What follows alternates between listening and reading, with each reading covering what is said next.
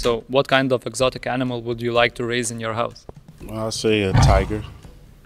If you could travel back in time, what period would you go to? Probably back to college. We're going to college for real?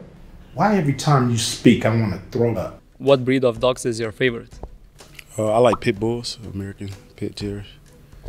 What would you choose for the rest of your life? To be bald or have very long and messy hair? Uh, very long and messy hair. I de- no, no, definitely not the bald. What is your favorite shoes brand? Um, like Nike.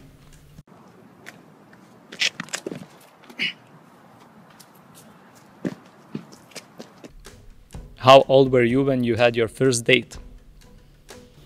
Hmm. I think I was like six, honestly. Like six. It, it wasn't like, you know, the date going out, but for sure I had a date with my uh, neighbor. So we used to eat lunch and stuff together. So that was cool. What would you do if you weren't a basketball player? Uh, honestly, I think I would be doing something with animals because I love animals. So those questions were perfect.